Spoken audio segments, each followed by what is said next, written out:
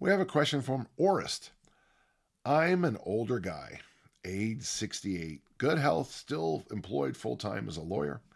Good. Been so we have had a detective and a lawyer this week, so let them sort it out.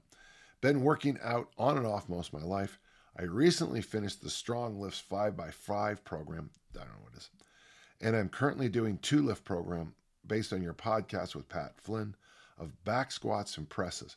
Isn't that funny? Because I would, if it's a Dan John program, the word back squat probably doesn't go together, but I get it. Three times a week, about nine sets of increasing weights of five reps down to doubles or a single.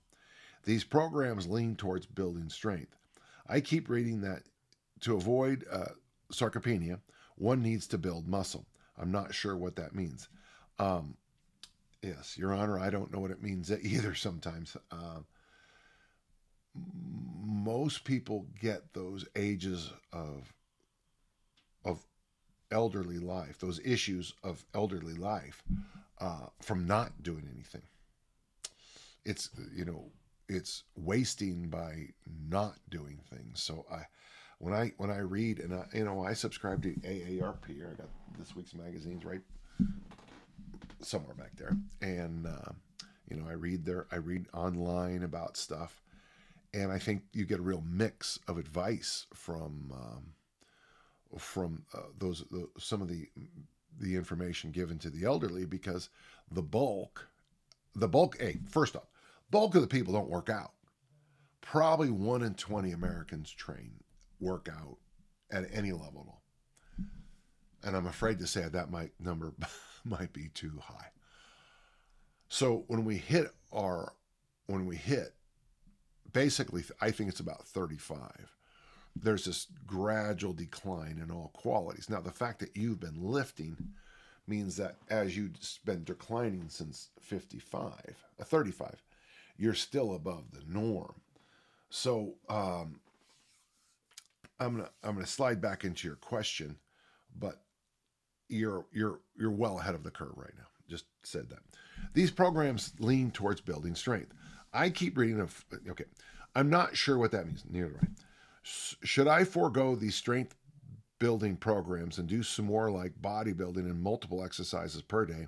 Three to six, three to six sets. That's way too much. Three sets are fine of eight to twelve reps.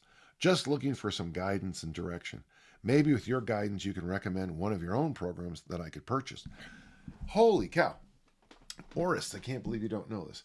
DanJohnUniversity.com go to the workout generator and three days a week i want you to do um, whatever it pings you up to do.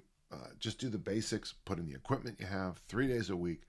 Three days a week i would like it's funny you'll be doing three sets of 12 three sets of 10 three sets of 8 you'll be doing basic bodybuilding movements. You'll be doing you know and nothing too complicated pretty simple.